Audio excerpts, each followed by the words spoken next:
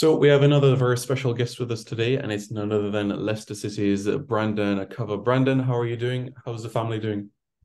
I'm all good, thank you. Yeah, we're all doing well. How are you?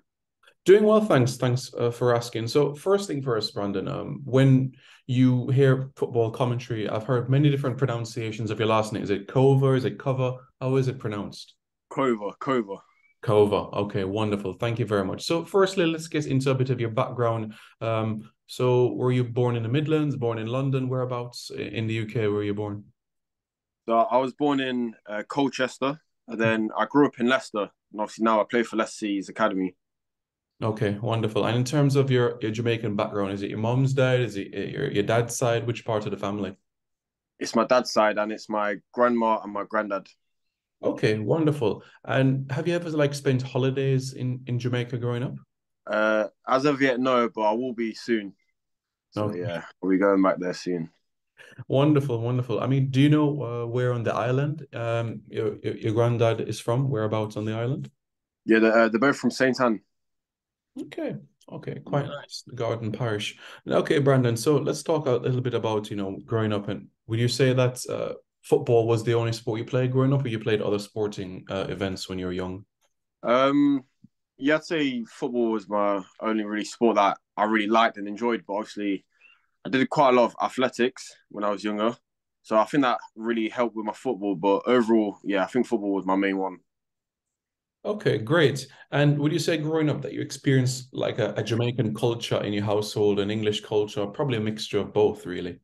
Yeah, it was definitely a mixture of both because obviously as I said, my granddad and my grandma were from Jamaica. So mm. whenever I'd go um, around my dad's side, yeah, it was a lot of like Jamaican food, like Jamaican music, stuff like that. So yeah, and obviously with my mum's side, it was very like the English side. So yeah, I think I got the best of both worlds there. And growing up, were you always a midfielder, or you played other positions on the field as well?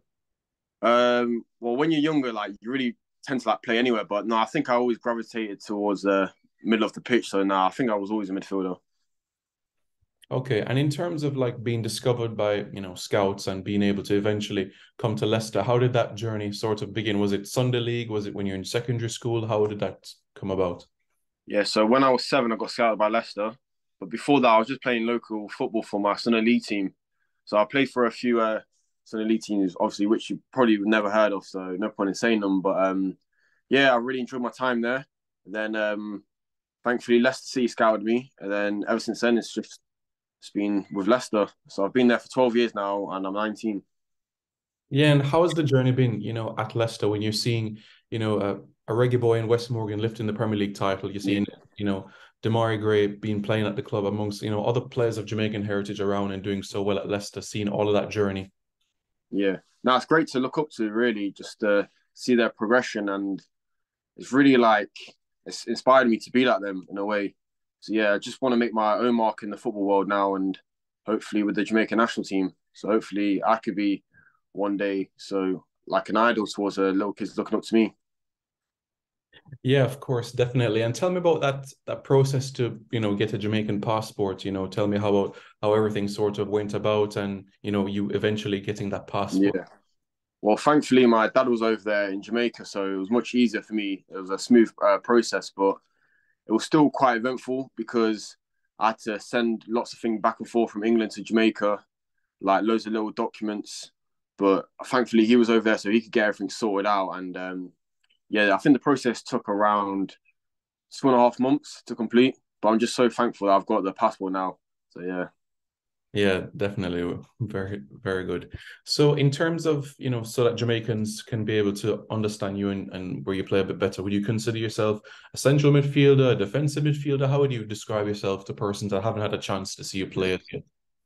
I would say I'm a box box midfielder. So in England, we'll call it a number eight. So box to box. I like to get up and down the pitch. I like to help out with uh, goals and assists, but I also like to track back and uh, defend. Just literally do everything on the pitch that's what I like to do. I like to get involved with every little play. So yeah, yeah, that's me. And by chance, do you also play with Kevon Gray as well in in the the academy? Uh, I think he's a youngster, so no, I've never played with him. Yeah, he's a bit younger than around 15 thereabouts. But all right, yeah. no problem. And in relation to like Jamaica, uh, do you like for the Reggae Boys? Do you perhaps go on YouTube to watch some highlights or even catch some of the games when you can as well? Yeah, especially the last friendly game uh, against uh, Trinidad and Tobago. So I watched that game. Watched uh, both the because they played them home and away, I think. So yeah, and um, yeah, I've been watching the Gold Cup, is going to be coming up soon. So yeah, I've been watching that. Um, they got their upcoming fixture against USA, so I'll be looking forward to that. But yeah. But you know, just the relief to have the passport in your hands to know that you know you're you're one step closer and you know you're eligible to represent Jamaica. I'm sure for you that must be uh, an amazing feeling for you to know that it's just a, a call up away, really. yeah, it's a real blessing for me to receive my Jamaican passport. It's a real honor, and now I'm just looking forward to hopefully representing Jamaica. And I just want to make uh, get my first senior cap for them. I'm uh, really looking forward to it. So yeah. Yeah. Uh, growing up or even right now, is there a reggae boy that you looked up to uh, as a role model or as an example, or even somebody that plays your position really that you always admired as a player? Uh, I wouldn't say he played my, plays my position, but I say Leon Bailey. He's a real good footballer. So obviously he's fast, skillful, and that's just something that uh, it just it just catches your eye when you watch the game. So yeah, he's a really good, skillful player. I like watching him play. And when you see players like Michael Antonio, like Leon Bailey, like Bobby Reid, Omari Hutchinson playing in the Premier League, does that give you motivation as well? Well, these Jamaicans can make it. I can as well in the Premier League. Yeah, yeah, it's a real inspiration. And um, now I just want to hopefully inspire the youth now, and then hopefully I can be the role model they look up to. Yeah, another player that we spoke about quite recently is Jon Russell at Barnsley and the work that he's doing as well, uh, playing in yeah. midfield. Well, you know, your thoughts about him for playing for Jamaica? He made his debut against Mexico quite recently as well. Yeah, yeah, he's a really good player. Obviously, quite physical, strong. So hopefully, I can link up and play with him when I'm over there. Looking forward to it. Okay, sounds good. Sounds good. Listen, Brandon. Listen, thank you very much for your time. Really, really appreciate it. You know, you know, all the best in terms of what is left of the season at Leicester, and you know, we look forward to seeing you in national colours. Keep up the great work, and you know, the opportunity will come in time. Yeah, thank you, Simon. Appreciate it. Thank.